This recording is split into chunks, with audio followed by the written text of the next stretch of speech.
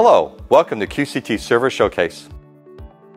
Now we'll take a look at the X11C-8N. It's a 2U8 node high-density microserver which offers flexibility with multiple nodes and accelerator options. It's designed to adapt to various workloads by adjusting CPU to accelerator ratios.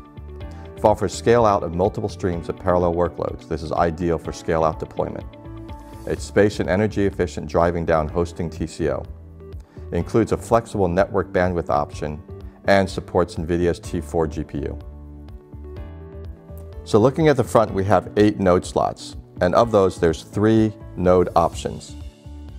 Now looking at the premium compute node, we have a single CPU socket, memory DIMM slots, and two M.2 storage slots, and a fixed drive slot. Now, our other option node is called the Compute with Inference node. This one is the same single CPU socket with memory DIMM slots and two M.2 storage slots. Now, in addition, there's a PCI expansion slot in front to hold a Tesla T4 GPU.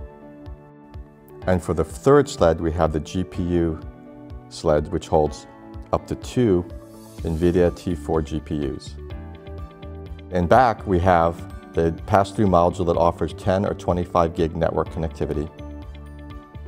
And then here we have the toolless hot swappable fan module. And lastly, the redundant hot swappable toolless power supply unit. For more details, go to www.qct.io.